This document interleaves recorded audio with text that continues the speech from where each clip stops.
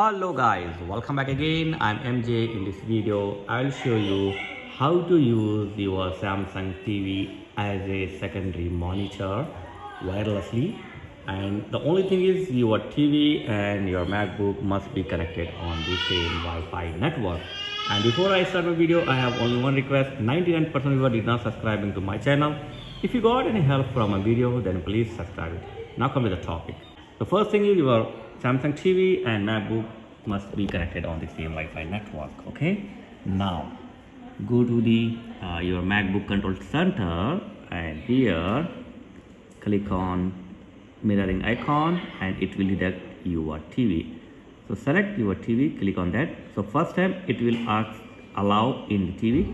So allow and accept in the TV and then boom as you can see my macbook mirroring on my smart tv exactly screen as you can see mirroring but we are going to use as a extended display. So for this once again go to the mirroring here on the action center and click on mirroring and here click on change and here select the extended okay? Select the extended display and then click on extend display. And boom. Look at that. Now so as you can see there is a different desktop uh, in my macbook and on my tv so now let me adjust my camera. Okay i will show you.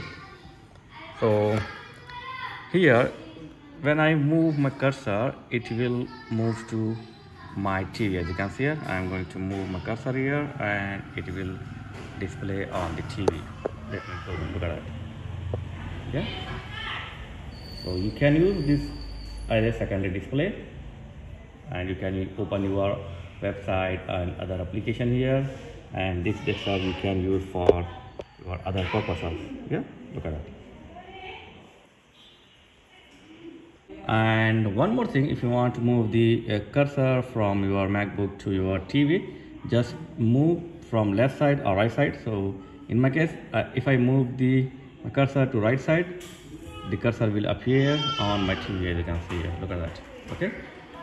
So I move the left side in my TV the cursor will appear on my MacBook.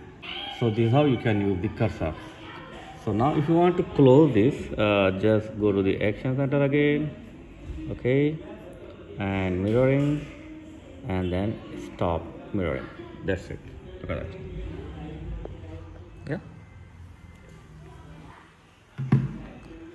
so this is how you can use Samsung Smart TV as a secondary monitor for MacBook without using any application.